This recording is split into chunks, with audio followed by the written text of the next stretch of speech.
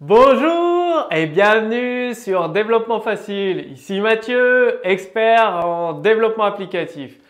Dans cette nouvelle vidéo, ce nouveau cours toujours consacré à AngularJS, bah déjà vous avez eu, je une bonne euh, dizaine, voire 20 cours, plus de 20 cours sur AngularJS. Donc au fur et à mesure, euh, bah, votre expertise a forcément progressé avec AngularJS. Et là, vous allez voir les promises avec AngularJS, c'est-à-dire les promises qui remplacent les callbacks. C'est-à-dire, vous allez tout savoir, enfin, savoir comment utiliser les promises avec AngularJS, en tirer le maximum pour euh, simplifier votre développement. En fait, une promise ou promesse en français, hein, c'est l'attente d'un résultat d'une action asynchrone. C'est-à-dire, une action asynchrone, c'est que vous faites, c'est comme Ajax, vous faites une requête et vous n'aurez pas le résultat immédiatement. Donc, vous pouvez faire d'autres choses et à un moment donné, bah, une promesse, c'est que vous aurez le, résultat de, cette requête. Donc, cette notion de promesse, comme je vous l'ai dit, ça vous permet de, bah, complètement oublier les callbacks. Donc, vous n'en avez pas besoin. Les fonctions asynchrones n'en prennent plus en paramètre, elles prennent une, enfin, elles renvoient une promise, tout simplement. Donc une fonction JavaScript asynchrone ne renvoie pas de résultat comme je vous le dis, mais elle prend en paramètre une fonction de callback qui sera appelée lorsque le traitement sera terminé. Cette fonction euh, callback euh, reçoit en paramètre les résultats du traitement. Et donc avec les, les promises, une promise elle peut avoir trois états. Dire un état euh, en attente de résultat, c'est-à-dire l'action asynchrone est en cours d'exécution, et une fois que l'action asynchrone est terminée, bah, soit vous êtes en état de succès, tout s'est bien passé, soit vous êtes dans un état d'échec et il y a eu un problème. Et la promise va vous le dire, bien évidemment. Une fois que la promise est dans un état de succès ou d'échec, cette promise ne peut plus changer d'état. Il faut le savoir. Donc un objet promise est caractérisé par une méthode zen. Vous avez euh, bien évidemment d'autres méthodes que vous allez voir au fur et à mesure qui permet d'agir en cas de modification de son état. C'est-à-dire votre promise, elle change d'état. Bah, lorsqu'elle change d'état avec la méthode Zen, vous pouvez effectuer des modifications. var promise égale étape 1. Point Zen, eh bien, fonction, en fonction, vous avez la valeur 1 en entrée, promise état de section, de succès, ou euh, fonction erreur, promise en état d'erreur. Ah, c'est un exemple tout simple. La méthode Zen renvoie une nouvelle promesse et ça vous permet d'enchaîner plusieurs actions asynchrones. C'est super pratique quoi. C'est-à-dire vous faites l'étape 1, Zen, vous avez l'état change, vous retournez l'étape 2, Zen, l'état de la promesse change, donc vous avez une nouvelle promesse, elle change, etc. etc. C'est-à-dire avec Zen, vous créez des nouvelles promesses, vous enchaînez plusieurs appels de fonctions asynchrones. C'est vraiment très très pratique. Bon, pour créer une promesse, il faut la créer. Donc vous avez le service Q, $Q, qui possède une méthode défaire. Ça va vous permettre de créer un objet avec une promesse. Donc var au défaire, ça va vous créer votre objet égal $Q.défaire, ça va vous permettre de créer votre objet et avec cet objet, vous allez avoir une promesse. La propriété promise de l'objet renvoyé par la méthode défaire, justement, c'est ce que je viens de vous dire, vous permet d'accéder à la promise. Donc $q.défaire, ça vous crée un objet, l'objet.promise, et là, vous avez votre promise. Et donc là, l'objet de la méthode défaire, donc ODeferred, propose des méthodes pour modifier l'état de la promise. Donc vous pouvez modifier l'état de la promise. C'est-à-dire, vous avez une méthode resolve pour dire que la, promise est résolue, donc vous la faites passer à l'état de succès. Cette méthode resolve prend en paramètre un objet qui sera renvoyé comme résultat de la promise. Donc un exemple, vous voulez récupérer un ID, vous passez l'ID en paramètre. $q.défaire, vous créez votre objet, vous faites un set timeout, donc toutes les deux secondes, vous appelez cette fonction. odfr.resolve, vous faites vous appelez votre promise sur ODFR, vous faites un resolve et vous renvoyez un objet, là, vous renvoyez un objet avec les propriétés ID, propriétés MSG, et vous faites un return odfr.promise, vous retournez votre promise, elle a été résolue, donc vous allez recevoir en résultat de la promise l'objet avec les propriétés ID et .msg. Donc vous allez voir un exemple pratique concret de, l'utilisation d'une promesse, ça sera beaucoup plus parlant pour vous. C'est parti Alors, comment créer des promises concrètement dans le, dans le code ActionScript Donc, vous avez votre contrôleur, euh, le main controller, les vues. Le, ce qui est important, c'est le contrôleur de la promise et la factory. Donc déjà, vous créez la factory, ça va gérer le chargement des données. Donc Data Factory Service.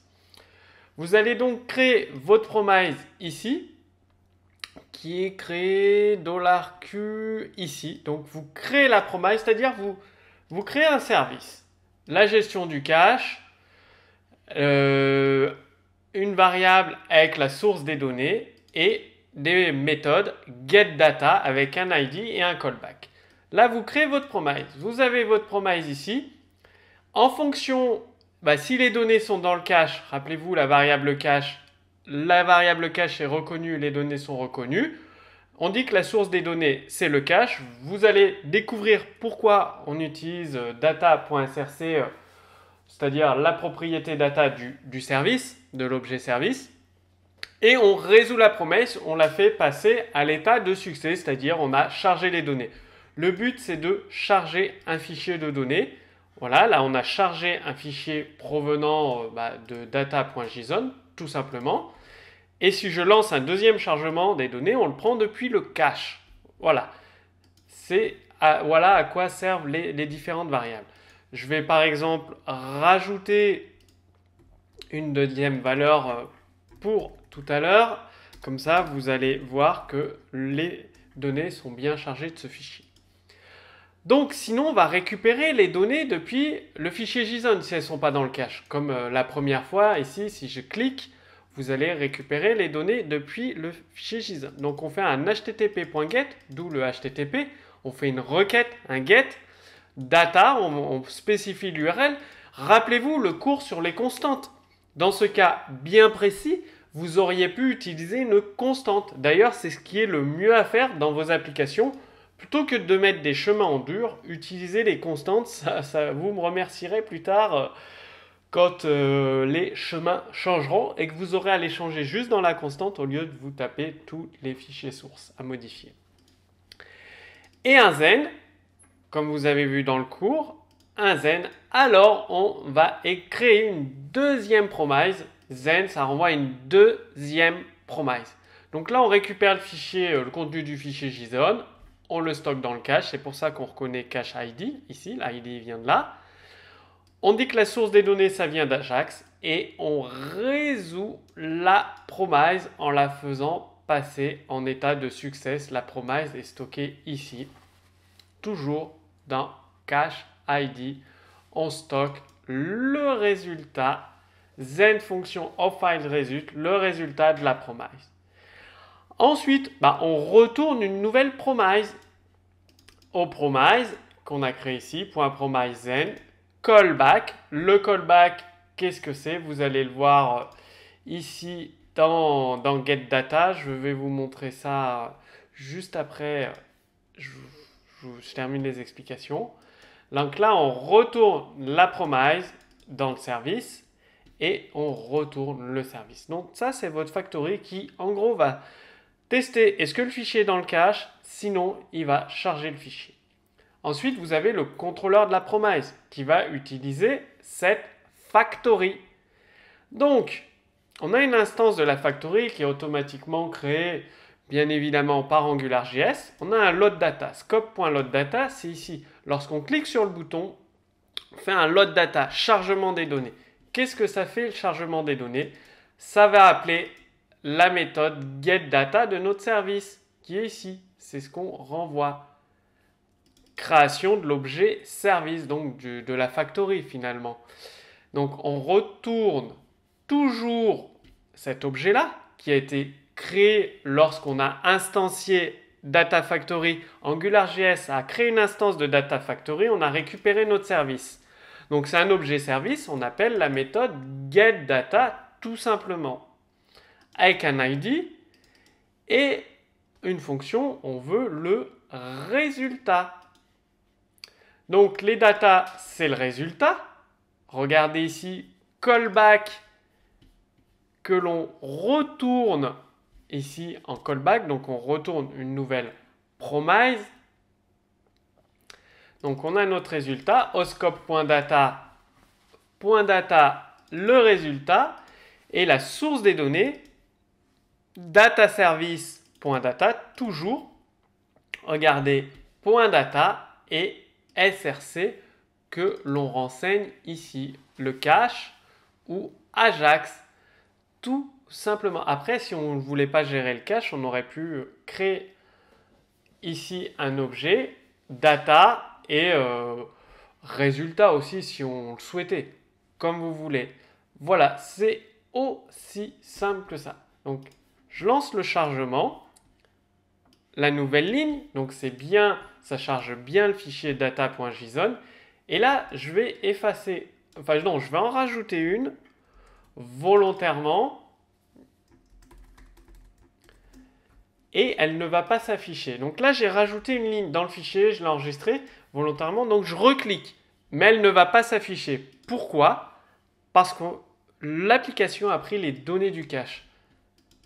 Et uniquement les données du cache. Que si l'application est relancée, voilà, la nouvelle valeur apparaît parce que euh, il a rechargé le fichier. Donc il faut, faire attention avec cette notion de cache. Dans certains cas, elle est très utile et dans d'autres cas, il faut la gérer. Donc sur développement facile, il y a des cours euh, pour vous expliquer comment gérer le cache. La façon toute simple de gérer le cache, c'est de créer un random, dev égale random, et donc à chaque fois, cela va forcer le chargement du fichier main.js. C'est aussi simple que ça, il ne sera jamais stocké en cache dans le navigateur parce que on crée une variable aléatoire dans dev, or que angular.min.js euh, 1.3 sera dans le cache du navigateur. Donc vous avez vu l'intérêt des promises, chargement de données, on utilise une factory, on fait un get data, on récupère le résultat en renseignant ici data source data et c'est la factory qui va gérer la promise. Donc la factory est ici. Elle s'occupe bien de créer un objet service que l'on utilise. On appelle get data dessus. On crée la promise. Dès que les données sont chargées, donc on fait un get, on recrée une nouvelle promise. Dès qu'on a le résultat, on résout la promise. Ensuite, on descend ici, on résout la deuxième promise et c'est terminé. Donc, à vous de tester les promises. Bon, je sais que déjà les callbacks avec la programmation événementielle, faut le comprendre. La notion du modèle de conception observer, faut la comprendre. Là, vous allez un cran au-dessus avec les promises. Donc, mettez-les en pratique, utilisez-les et petit à petit, ça va rentrer. Vous allez vous aussi mieux les comprendre, les maîtriser, les utiliser. Alors maintenant, c'est à vous de jouer, hein. comme d'habitude. Appliquez, appliquez et appliquez encore euh, les exemples de code source que je vous donne dans Développement Facile. Donc vous retrouverez le code source en téléchargement euh, sous ce cours vidéo. Il est commenté, à vous de l'utiliser.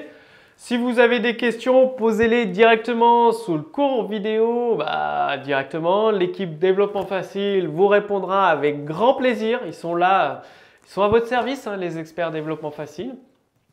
Et sous cette vidéo, là, juste en dessous de cette vidéo, vous avez un, formulaire. Vous renseignez votre prénom, votre adresse mail, vous cliquez sur le bouton et vous recevrez les prochains cours Développement Facile, que ce soit des cours sur AngularJS, sur jQuery, Ionic Framework vous les recevrez directement dans votre boîte mail. Maintenant, si vous voulez aller beaucoup, beaucoup plus loin en développement, dès maintenant, cliquez sur l'image juste au-dessus de moi, sur euh, le lien cliquable juste au-dessus de moi et vous allez accéder à une deuxième page, une deuxième vidéo où vous allez tout savoir, euh, enfin vous aurez en main, dans les mains, le code source et toutes les stratégies détaillé pour créer des web apps que vous déployez, c'est-à-dire vous les codez une seule fois, web web app, vous la codez une seule fois et en un clic, clic, vous la déployez sur tous les tablettes, smartphones, ce soit iOS, Apple, Android ou Windows Phone. Et bien évidemment, vous serez accompagné personnellement et individuellement par plusieurs experts de l'équipe Développement Facile qui ont tous plus de 10 ans d'expérience dans différents langages Donc ils seront là pour répondre à vos questions. Vous rencontrez par exemple une difficulté sur un concept euh, de la méthode développement facile, sur un code source que vous avez du mal à implémenter dans votre projet, dans votre application. Vous envoyez simplement un message à l'équipe développement facile avec votre code source. L'équipe développement facile, l'expert le plus qualifié, vous répondra directement en corrigeant votre code source, en vous donnant des explications supplémentaires et si nécessaire en, en rajoutant un exemple de code. Et tout ça, vous le recevrez dans votre boîte mail. Donc c'est hyper simple, hyper rapide. Donc cliquez simplement sur l'image là, juste au-dessus de moi, sur ce lien cliquable et en moins de 30 jours, vous allez acquérir des compétences étonnantes, efficaces, remarquables pour la création de web apps sur les mobiles. Je vous retrouve tout de suite dans la deuxième vidéo. À tout de suite